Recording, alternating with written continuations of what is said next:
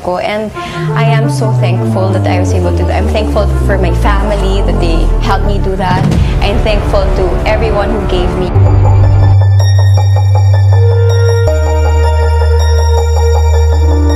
Isang nakakabiglang balita Bea Alonzo buntis at kambal ang magiging anak nila ni Dominic Roque, kaya ito pala ang dahilan kung bakit papakasalan na siya ni Dominic Roque. Finally, nag-propose na ang aktor at negosyanteng si Dominic Roque sa kanyang girlfriend na si Bea Alonzo.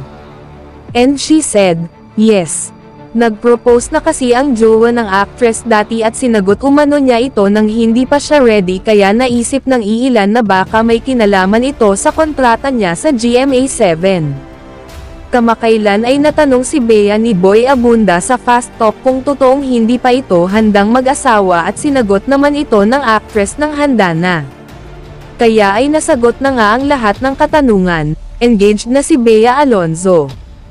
Ibinahagi na din ni Bea na gusto na din niyang magkaanak at sana di umano ay kambal, pabirong sabi ng actress. Ipinost ni Bea sa kanyang Facebook account ang black and white pictures niya na nakasuot ng gown habang nakaluhod naman si Dom wearing white long sleeves polo. Kalahating oras pa lang ang nakakalipas ng mag-post si Bea ay humanig na agad ito ng kulang 200,000 engagement, 14,000 positive comments at 41,000 shares. Pinaghihinalaan naman na baka nagdadalang tao na ang nasabing actress at kaya napagdesisyonan ni Dominic na pakasalan na ang nasabing actress.